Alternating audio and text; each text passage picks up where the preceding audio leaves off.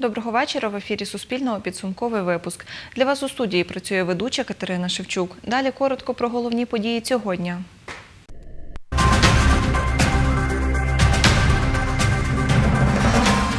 Хмельницька школа встановила рекорд України. Сьогодні навчальному закладу вручили відповідний сертифікат. У обласному центрі в тестовому режимі запустили новий тролейбусний маршрут 4А Катіон Ракове. Хмельничанка Світлана Делікатна колекціонує старовинні вишивані сорочки з різних районів Хмельниччини та регіонів України.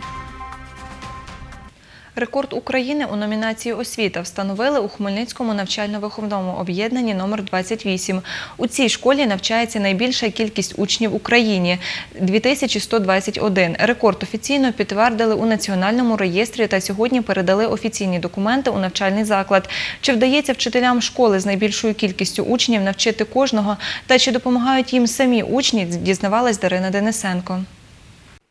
Вікторія Скальська 29 років працює вчителем молодших класів. Каже, чи не щороку кількість учнів у класі нараховують 30 або 32. Визнає, на уроках буває важко навчити кожного школяра. Оптимальніше це десь чоловік 28. Оце я так працювала і дуже велика різниця, що 28 навчати, що 32. Хоча здавалось і небагато учнів, але отак найлегше. Ми е, працюємо таким чином, що диференціюємо деякі завдання, працюємо в групах, працюємо в парах, е, допомагаємо один одному. У класі Катерини Лемешової навчається 39 учнів. Дівчина каже, навчанню така кількість не заважає. Періодично виникають труднощі, але ми їх долаємо, оскільки у нас є самоповага, у нас є повага до учителів.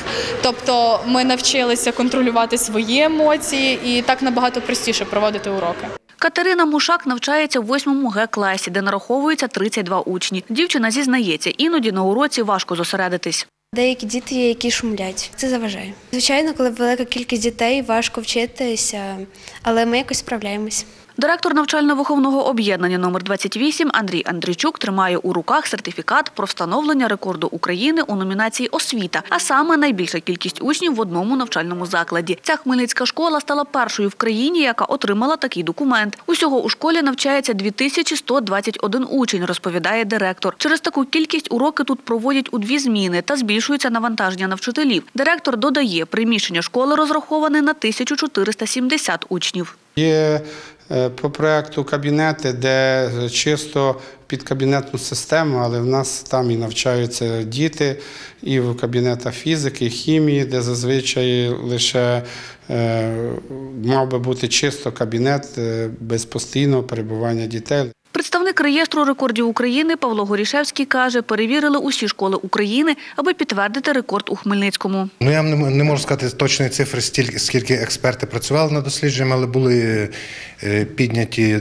усі доступні бази даних в Україні, і дійсно визначено, що саме Хмельницька школа е, номер 28 є найбільшою на даний час за кількістю учнів в Україні. Офіційно національний рекорд України 28-й школі присвоїли у січні цього року. Сьогодні передали документи, які це підтверджують.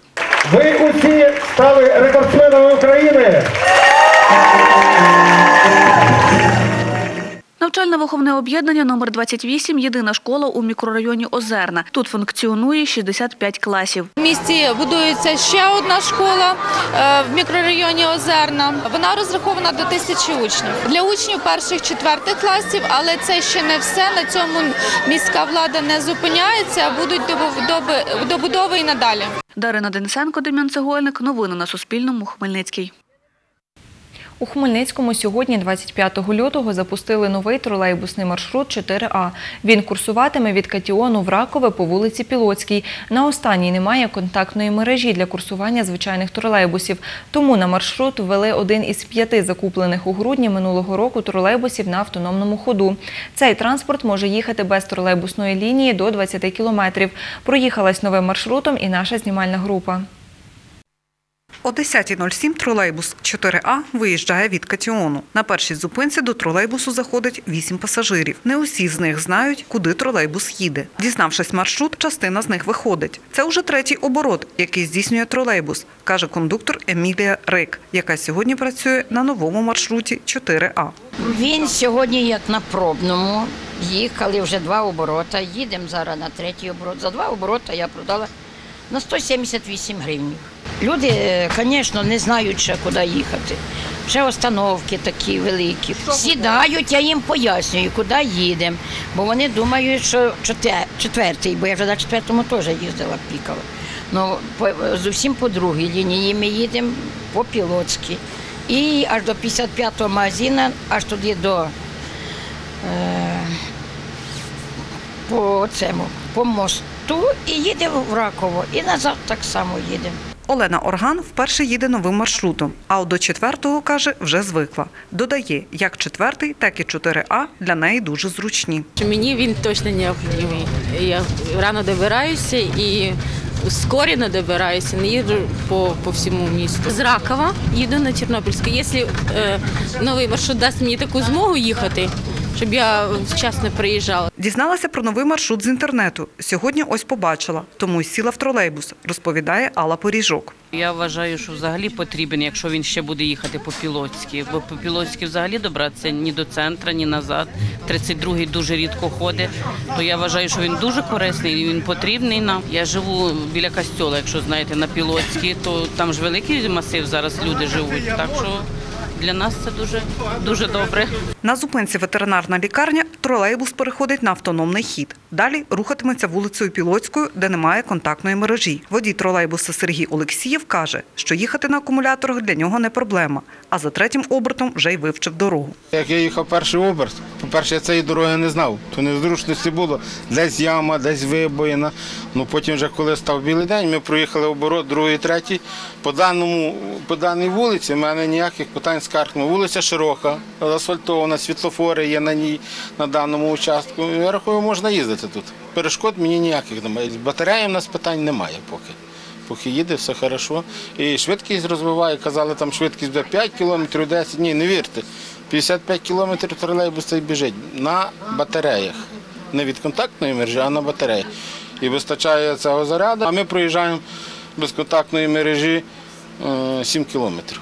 Це від е, ветлікарні і до Катьона. Два перших тижні новий маршрут працюватиме у тестовому режимі. На ньому їздитиме лише один тролейбус, каже директор комунального підприємства Електротранс Віктор Паламарчук. Додає, якщо маршрут буде рентабельним, пустять ще один тролейбус. Після тестового режиму відкоригують і графік руху. Перший графік е, даного маршруту від Катіона йде о 6 годині 30 хвилин і закінчує свою роботу о 21 годині. Е, По цьому маршруту е, тролейбуси будуть, тролейбус буде курсувати е, повністю цілий день і буде працювати у дві зміни. Неля Шпулак, Віктор Кривий. Новини на Суспільному. Хмельницький. Новий тролейбусний маршрут номер 4А Катіон Ракове курсуватиме по вулицях Тернопільській, Кам'янецькій, Купріна до оптового продуктового ринку, Красовського до обласної лікарні, по вулиці Пілоцькій аж до ветеринарної лікарні, вулицями Чорновола, Майборського, Гарнізоній та Довженка та за таким самим маршрутом у зворотному напрямку. За словами Віктора Паламарчука, графік руху тролейбусу за маршрутом 4А затверджено у тестовому режимі. Він може змінюватися та уточнюватися. Перший тролейбус виїжджатиме від зупинки Катіон о 6.30. До зупинки вулиці Довженка він їхатиме 44 хвилини. З Ракова перший тролейбус виїжджатиме о 7.23. Останній тролейбус від зупинки Катіон відправлятиметься о 19.36, від зупинки Довженка о 20.25.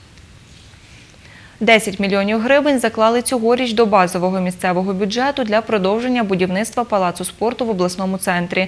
Про це Суспільному розповів директор міського департаменту архітектури, містобудування та земельних ресурсів Олександр Чорнієвич. За його словами, у квітні при уточненні бюджету міста планують додатково закласти кошти та очікують на державну субвенцію.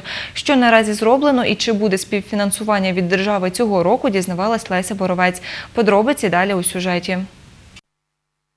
Цьогоріч підрядник вже виконав роботи на суму 3,5 мільйона гривень та отримав аванс у розмірі 3 мільйонів гривень з міського бюджету, каже директор міського департаменту архітектури, містобудування та земельних ресурсів Олександр Чернієвич. Додає, минулоріч з бюджету міста на будівництво палацу спорту витратили 30 мільйонів, з державного 80 мільйонів гривень. Виконуємо зараз е, роботи по будівництву евакуаційних виходів на четвертому поверсі. Закінчуємо ці всі налагоджувальні роботи, які полягали з вентиляцією, з її монтуванням. Виконуємо роботи з вхідною частиною фізкультурно-оздоровчого корпусу. Якраз там займаємося зараз монолітними роботами.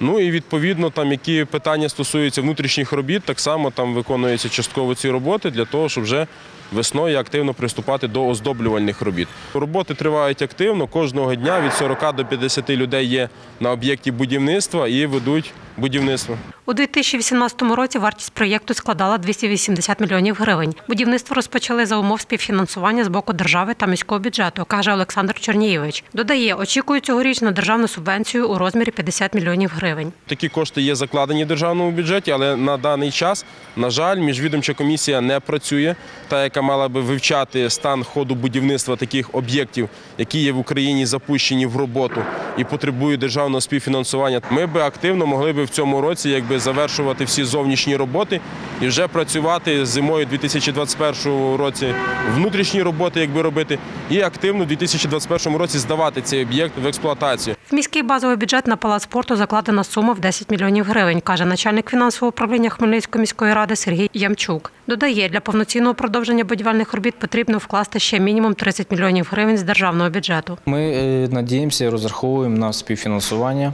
з державного бюджету по окремій програмі, так як це було і в минулому році.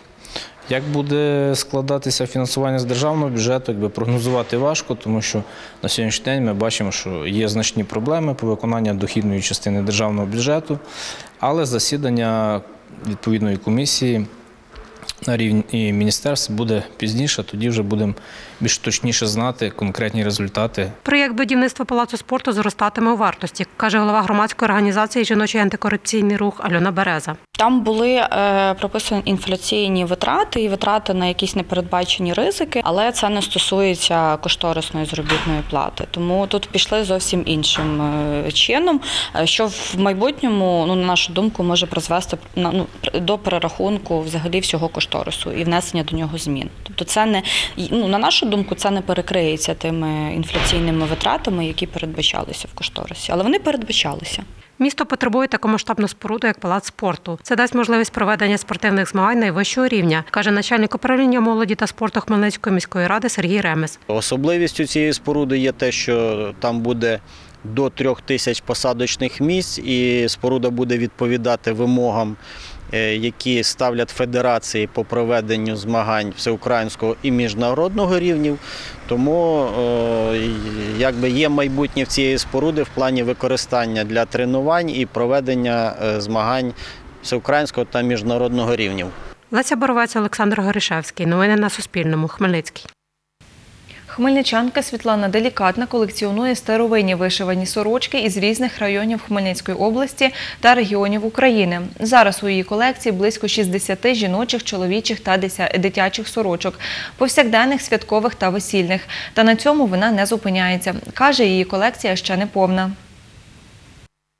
Вишиваний старовинний одяг, каже хмельничанка Світлана Делікатна, захопив її давно своєю природністю та майстерністю вишивальниць. Ця мережка зроблена саме по цій тканині. Я спочатку навіть не повірила, що то що реально зроблено таке. Зроблено по коноплі.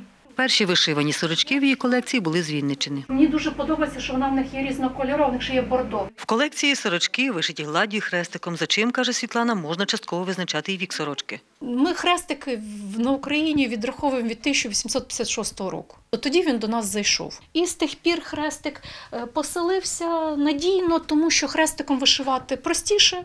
У колекціонерки є сорочки з різних районів Хмельницької області. Для себе вона виокремлює роботу вишивальність Новоушицького району. Кольорова гама дуже стримана, і в них дуже шикарний малюнок. І якось він так душевно мені лягає. Подобається мені новошицька сорочка. Хмельницька область, Поділля і Волинь. Давній одяг їхніх жителів різниця усім, каже колекціонерка. Для сорочок Волині, таких як зі Славутського району, характерні комірці та непритаманні Поділлю візерунки. Це занизування. Всі давні українські шви вони повторювали ткацтво.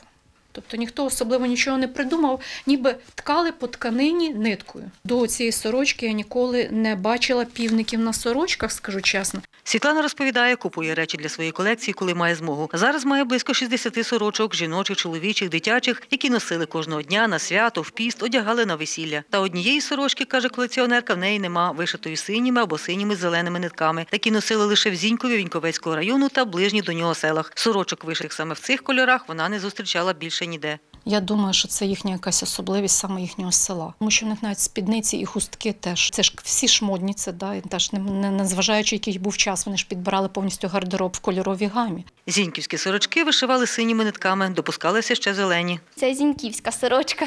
Так, зелені, сині кольори, поквітнення, е, комір. Ніде не бачили, ми не зустрічали більш подібних, і тому завжди говоримо, що якщо хтось знайде щось подібне, то будь ласка, скажіть, поділіться, щоб ми хоча б щось побачили, могли порівняти. Станом на сьогоднішній день це є унікальна вишивка і унікальний візерунок. У музеї Зіньківського НВК є й сорочка, яку вишивали 200 років тому. Щоправда, природні барвники від того часу змінили колір. 71-річна жителька Зінькова Ніна Жук, яка вишиває з 13 років, каже, жінки в містечку мусили мати традиційну вишивану сорочку. Хоча майстрині інколи змінювали правила. Її мати вишивала гладдю та не руками, а швейною машинкою. Простою обичною машинкою вишивала.